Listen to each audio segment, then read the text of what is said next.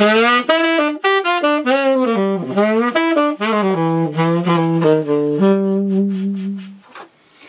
Nigel McGill here.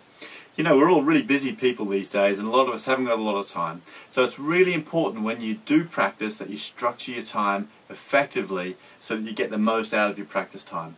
So today, a couple of just a quick top tip on how to structure your practice time. Now, in my opinion, this is what works for me. I find I've divided, always divide my practice into four sections. And uh, I've got to do all four of these sections every time I practice in order to get the most out of my practice session even if I've only got 10 minutes to practice okay? Here are the parts. First of all you need to have a warm-up. Well that's the first part a warm-up.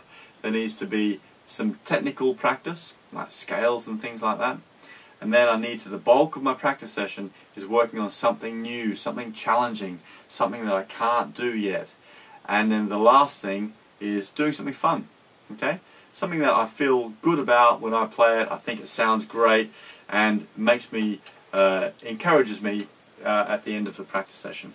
So those are the four main sections. Now in terms of how much time to give to each, what I do is I divide my amount of time I've got in half.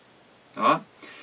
One half of it is only for working on the new material that I'm working on. The other half I divide into three sections. Uh, so let's say for example I had 12 minutes to practice.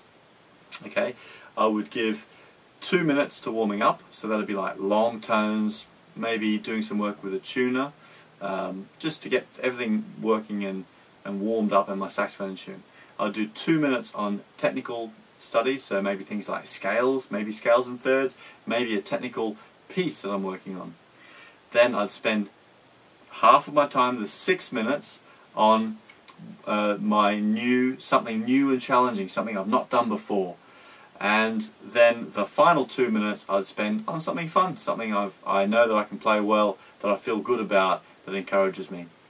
And that's the way I break down my practice time. Now, a couple of things to remember about this. First of all, it is so important to do your warming up and so important to do your technique practice.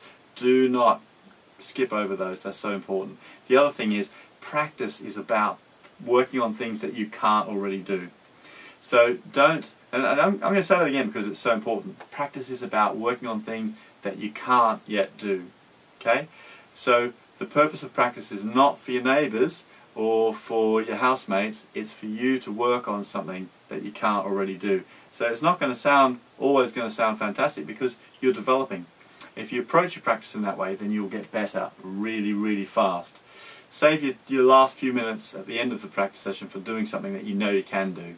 But the bulk of your practice session must be spent on working on something that you find difficult, that pushes you, stretches you, and that way you'll develop really, really fast.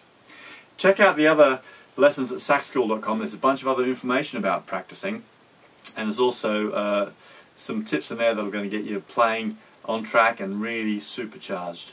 Good luck with that. Have some fun with your practice. I'll see you on the next one. え